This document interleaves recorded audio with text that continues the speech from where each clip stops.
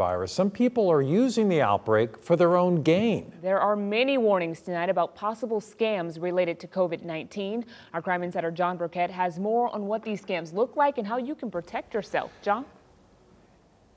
And Candace, not even an hour after President Trump mentioned a possible stimulus, a Chesterfield man was getting a specific text message addressed to him to click on a link and to get his money fast.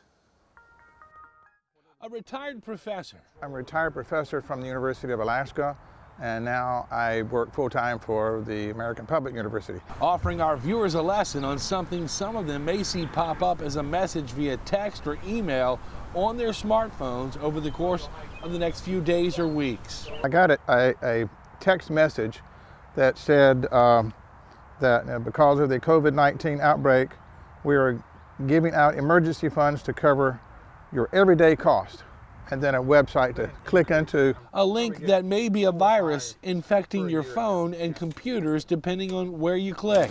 You'll have people all over the world that'll randomly send text to numbers and once you click on it, they've got you.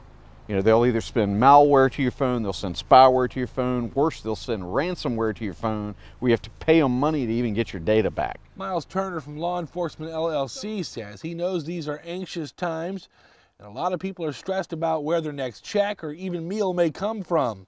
But he urges you to read everything closely and don't fall into a scammer's trap. If you weren't expecting the message, if you weren't expecting the email, because this comes through email also, don't click on it. If it seems too good to be true, it is. And if you do click on the link, whether on your smartphone or your computer, experts say it costs anywhere from $300 to $1,000 to get that virus off of your electronics. Working for you in Chesterfield County, Jon Burkett, CBS 6 News.